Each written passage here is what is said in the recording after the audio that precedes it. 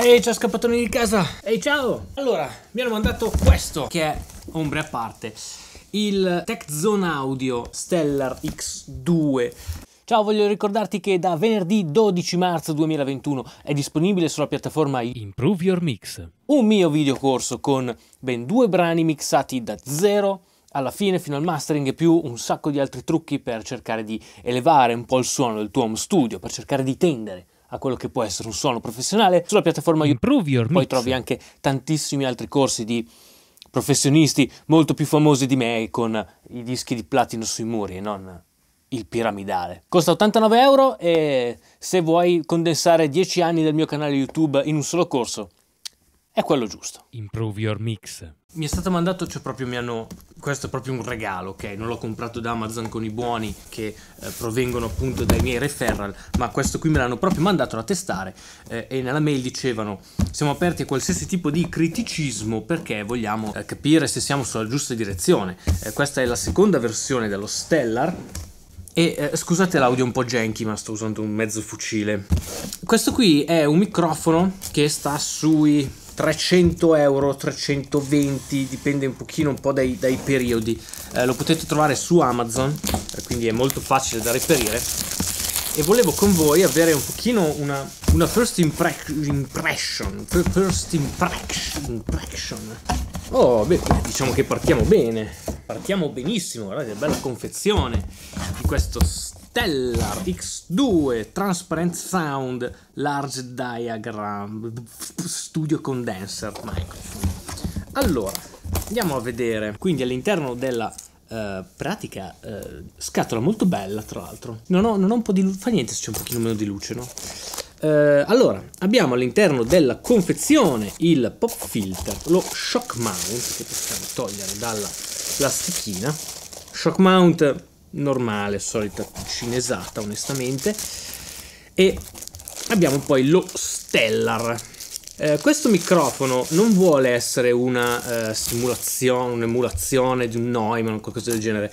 Molti altri reviewer lo comparano alla serie dell'Audio Tecnica, ad esempio il 2020, che però sono 80-90 euro, questo è 300, quindi mi aspetto un suono, diciamo, eh, queste sono le aspettative, eh, un suono molto clean, un suono molto, diciamo, realistico e... mm, c'è anche una... Oh, allora c'è, c'è una, una scheda di test dove hanno fatto praticamente dei test prima di spedirlo. Questo test è stato fatto l'11... è stato fatto un anno fa, l'11 marzo 2020 ed è firmato. Una firma vera, non sembra neanche stampato. C'è attaccato una, un'etichetta con il codice del microfono. Very nice, bel tocco, dove testano, fanno una burn-in di 14 ore guardano il voltaggio della polarizzazione, fanno un frequency sweep, fanno la sensitivity, noise floor e una visual inspection per vedere che eh, funzioni tutto.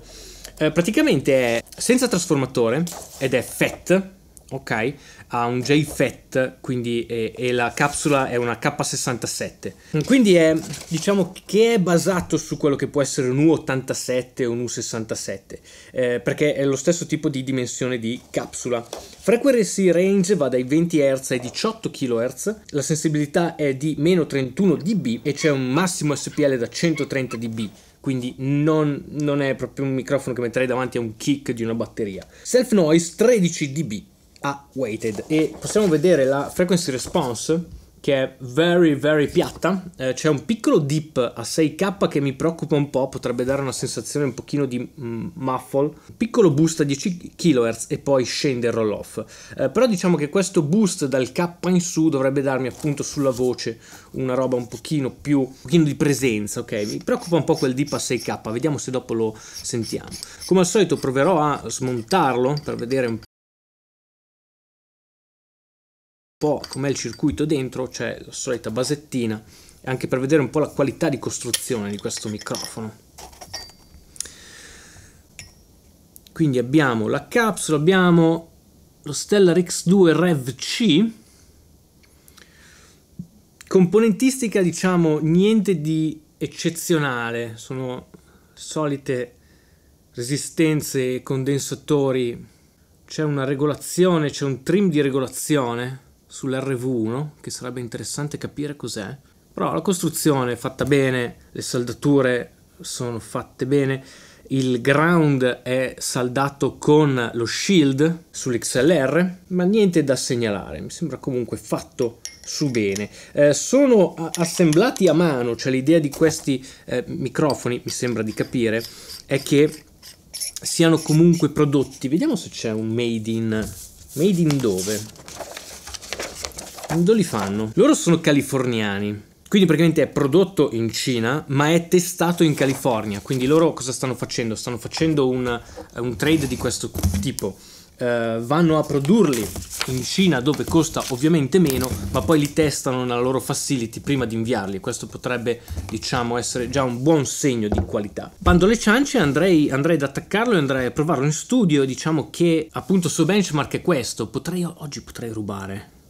Potrei rubare un 87 dalla radio per capire un attimo come si compara verso un 87 e lo proviamo con altri microfoni. Quindi oggi devo Francesco ricordati di rubare un 87 in radio tanto non li stiamo usando al momento stiamo usando gli SM7 niente andiamolo a sentire. E allora eccoci a provare appunto questo eh, TZ Audio Products Stellar X2 lo andiamo a comparare qui in studio con l'Aston e con un NT2 che sono un po' i suoi rivali per, diciamo, fascia di prezzo e voglio proprio andare a sentirlo così com'è. Quindi, allora, diamogli un 30 dB, anche meno, 20 dB, molto sensibile. Mi serve pochissimo gain per andare praticamente a picchiare i meno 15 e i meno 12. Quindi lo attivo, attivo e eh, mi tolgo la mia voce dalla cuffia. Quindi ora mi sentite dallo Stellar eh, X2 completamente flat senza niente. Rumore di fondo non ne sento. E andrei più che altro a ehm, vedere come si comporta eh, con molta compressione come al solito. Quindi metterò un, un Orban quindi eh, questo qui è eh, diciamo eh, ipercompresso. Mettiamoci anche l'MB process andiamo proprio a schiacciare tantissimo eh, questo microfono in modo da sentirlo proprio al limite. E eh, la mia preoccupazione sull'X2 è questa è un filo nasale. Eh, può andare molto bene per alcune voci sulla mia sentite che è un filo uh, onchi. Attacchiamo un, un Aston Origin per vedere il, il rumore di fondo. Il, il, è molto bello il colore è molto bello attacchiamo l'Aston Origin ci mette un pochino ad accendersi. Stesso identico pre Aston Origin. Sentite che ha una forma un pochino più a V e quindi sento meno un pochino la nasalità della mia voce che è molto eh, nasale purtroppo. Questo qui è il, um, il suono che vi dà l'Aston Origin che è, che è lì come prezzo. Torno di nuovo al um, Stellar X2 e lo andiamo appunto a sentire. Sentite una voce più presente, un pochino più mid push praticamente, eh, molto bello e meno rumore di fondo, molto interessante. Sì, c'è un filo più di rumore. Sentite com'è più morbido eh, l'Origin. E qui è proprio una questione di gusto. Eh, se non vi piace che l'Origin sia così, eh, diciamo, scavato, eh, lo Stellar vi dà una risposta un pochino più presente che vi aiuta ad uscire un pochino più eh, nel mix. Quindi eh, se avete difficoltà ad esempio a far uscire i vostri vocal, magari che sono rap, trap, sopra un beat molto molto denso, lo Stellar vi dà sicuramente una mano. Attacchiamoci una cosa molto più cheap come un T-Bone SC400. SC400, eccolo qua Abbiamo, è meno sensibile, sentite che sta prendendo meno il rumore della mia stanza, eh, ma è anche molto meno presente, cioè sento che sicuramente si è abbassato eh, quello che può essere la percezione del, eh, anche un pochino dell'ambiente in cui sto registrando, molto più, eh, molto più raccolto. Ok, che cos'altro ho qua in studio da provare al volo? Attacchiamoci un uh, Rode NT2 quindi torno allo Stellar che si accende eh, subito. Sentite belle le basse, mi stanno piacendo molto e le S non sono così tanto eh, cattive, eh. non ho niente, non ho DSR se non appunto questo Timeo Stereo Tool e l'MB Process multibanda. Attacchiamo uh, un NT2 Questo qui è un Rode NT2, eh, sentite che è meno presente, ma un pochino più sensibile al, al riverbero. Sento un pochino più di riverbero che arriva dalle scale. E eh, diciamo comparabile ma mi piace, sapete cos'è? Sta iniziando a piacermi quel push che mi dà l'NT2. Molto, molto presente. È questo, è quello che vi dicevo all'inizio, cioè mi ricorda molto quella presenza eh, che hanno gli Audio Technica, come può essere il 2020 o il 4040, ancora meglio. Attacchiamoci un Behringer, giusto per avere l'idea di eh, quello che invece può essere il suono di un condensatore handheld, e sentite molte meno alte frequenze. Cos'altro vi posso attaccare? Vabbè, il classico BM2 BM. Il classico BM800 torna allo Stellar, torna sul gain. Stellar molto molto presente, molto molto pulito. Bello, mi piace. Questo qui invece è eh, il eh, BM800, sentite molto più medioso, con un rumore di fondo molto più accentuato. Non so cos'altro ho qua da provare. Cos'altro ho in giro in questi cassetti? Li ho provati tutti, ma sapete cosa facciamo? Vi porto in radio e lo proviamo con la catena che abbiamo in radio al posto di un U87. Quando torno al gain mi sta piacendo molto. Bello, cioè nonostante sia un po' nasale, vediamo com'è la eh, repulsione del suono da di fianco. Sentite che eh, usato di fianco eh, esce fuori un pochino di più questa nasalità. È proprio questa quella che sento. E da dietro c'è una buona c'è una buona, diciamo, retenzione. Rispetto a quella che può essere, sentite, mentre di fianco il, um, è molto più scuro l'NT2 e da dietro Uh, però è un pochino più sensibile, quindi ti aiuta meno in una stanza uh, poco insonorizzata. Bello, la risposta anche in frequenza, la risposta fuori pattern è molto interessante. Cosa possiamo provare? Un po' di chitarra? Ah sì, c'è una cosa che volevo provare metto praticamente un playlist rider ok eh, su questa traccia e voglio mettere un analizzatore Spectrum Analyzer con un FFT molto lenta. Eh, giusto per capire eh, su alcuni test che voglio fare con il telefonino. Generator. Ok eh, vi spiego cosa voglio fare. Io voglio eh, generare un tono, una sinusoide.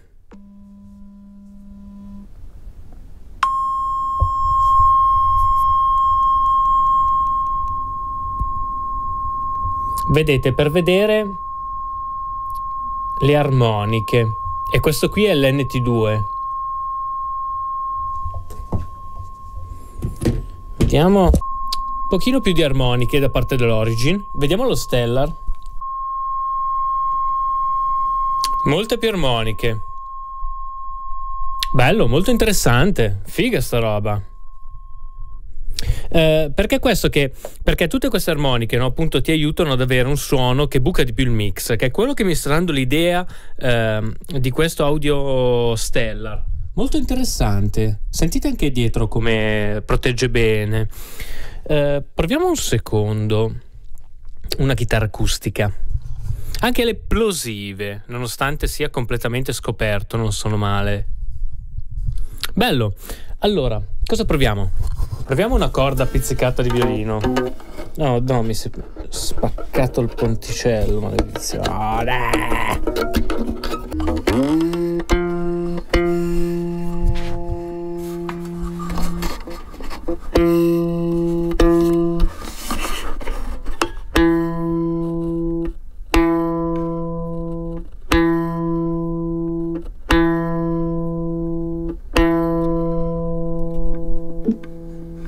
Vediamo invece il, l'origin. Più rumore di fondo. È un suono molto meno presente. Un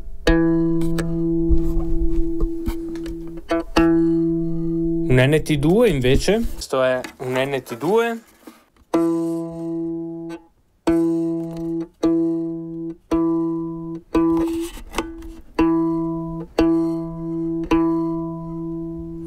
bello lo Stellar. Ah! Bello! molto punchy. È un po' la critica che gli facevano a questo microfono, cioè che fosse troppo. Uh, troppo punchy e invece mi piace un sacco. Andiamolo a sentire in un ambiente non insonorizzato rispetto agli altri.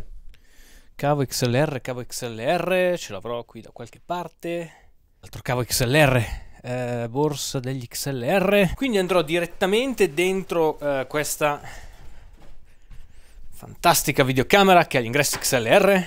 Ok, allora questo qui è lo Stellar eh, X2 usato a una mezza spanna dalla mia bocca. All'interno di una stanza non insonorizzata con comunque sentite un po' di, eh, di riverbero insomma un po' di, un po' di, classico riverbero di stanza. Andiamo a sentirlo eh, rispetto a un Origin. Eh, questo qui è l'Aston Origin invece in un ambiente non insonorizzato. Vediamo che la dimensione della capsula è un filo più no sono grandi uguali. Anzi è un filo più grande quello della Stellar ha una capsula più grossa mentre No, penso la più grossa sia quella dell'NT2.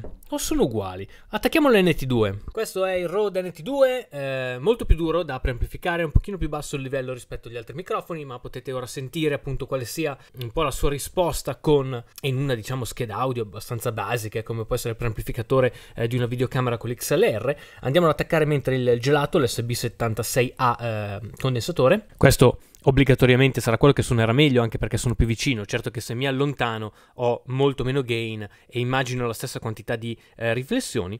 Eh, torniamo sullo Stellar. E torniamo sullo Stellar che appunto mi dà questo suono in un ambiente non insonorizzato. Si sentirà probabilmente il motore del, del frigo, chi lo sa. Quindi mi è piaciuto questo. troppe cose. Troppe cose in mano. Quindi mi è piaciuto questo microfono? Assolutamente sì. Consigliatissimo lancio della videocamera. Consigliatissimo per tutti quei generi musicali che hanno bisogno di un po' di bucare il mix. Eh, quindi, ad esempio, per i voiceover mi piace se è un voiceover che ne so di un trailer, di uno spot, eh, se dovete appunto prevaricare sopra eh, una base magari molto densa eh, per magari andare a per andare appunto ad avere un cantato magari rock che deve andare sopra le chitarre elettriche, super consigliato, eh, appunto grazie alle armoniche che abbiamo visto generare un pochino più alte rispetto i suoi competitor e questo suono un pochino più mid uh, forward. Uh, bella la risposta delle basse, occhio che potrebbe essere un pochino overwhelming se avete ad esempio un grosso amplificatore di chitarra, non mi sento di consigliare uno Stellar uh, perché sento che tende a boostare un po' le basse potrebbe crearvi un po' di mud che poi dovete poi mix andare a togliere. Un bellissimo prodotto. Il price point è un filo alto perché capisco che 300 euro possano essere tanti in home studio, con così tante alternative. È un, praticamente è un 20-20 che suona più presente, è un 40-40 con un pochino più di saturazione e quindi magari non mi sento di consigliarlo se volete proprio una ripresa super super eh, analitica eh, ad esempio, che ne so, xilofoni non lo userei, strumenti a fiato come può essere ad esempio un flauto traverso, magari non, è un pochino troppo, un THD un pochino troppo alto per questo tipo di applicazioni. Mi piacerebbe sentirlo, non ne ho la, la possibilità, eh, come room microphone, ad esempio, ad esempio un monomic room fatto con questo, con questo punch nelle medie potrebbe essere molto molto interessante, o anche come overhead, dato che non sento delle sibilanti eh, particolarmente acide. E quindi diciamo che questa configurazione di eh, capsula simil U87 più un corpo con un'amplificazione che può essere come quello di un TLM 103 si rivela comunque sempre un'ottima combinazione. È sicuramente meglio di un TLM 103, non c'è ombra di dubbio. Uh, andiamolo a sentire appunto in radio. Vi, vi, porto con me oggi. Allora, siamo qui con il DJ Stay che usa tutti i giorni un Neumann U 87 e gli abbiamo portato uno Stellar eh, X2 da provare. Che cosa ne pensi? Ma eh, sinceramente sono molto simili. Lo Stellar te lo faccio subito sentire all'opera, ecco la registrazione fatta con lo Stellar. Questa settimana con Della Santa Automobili Giubiasco che vi presenta la nuova Hyundai 30N. E invece questo è il Neumann. Questa settimana con Della Santa Automobili Giubiasco che vi presenta la nuova Hyundai 30N. La differenza tecnica te la potrebbe spiegare Francesco Bonalume che è tecnicamente molto più preparato del sottoscritto, però a me sembrano abbastanza simili, eh? non, non, noto molte differenze. Solo che questo è 300 euro e eh, quello sono 2000. Mm, sì, sì eh, fortunatamente non l'ho pagato io, quindi tecnicamente va bene così. Grande Ste. Guarda te se si può trattare così, no, è difficile boia da tenere così. Questo sta registrando, sì. Pa, pa, pa, pa, pa, pa. Allora, una delle cose strane, eh, diciamo di differenza tra l'U87 e questo Stellar, più che nel suono, eh, sono da cercare nel gain. Cioè, in questo momento, ad esempio, sto comprimendo 3-6 dB ogni tanto su questo Neumann. Se attacco lo Stellar, praticamente con lo stesso preamplificatore eh, sono tra i 6 e i 9 eh, di gain reduction. Eh, quindi ha, ha, proprio più gain lui eh, di, proprio di, di default. E, e, e, sto registrando praticamente attraverso questo Soundcraft. Allora, praticamente la chain è questa. Eh, è un DBX 286 che viene usato per eh, mettere un iPass, comprimere, mettere un filo di LF, di HF detail e eh, un po' di gate e, e, passo anche dalle Q di questo Soundcraft. Non sono, lo so che non sono robe costosissime, ma per fare radio questa roba basta e avanza per noi.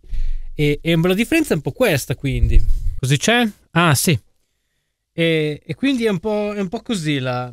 Non trovo una differenza, diciamo, così estrema. Eh, però eh, trovo un po' questa differenza di gain e questo appunto sempre cosa di presenza.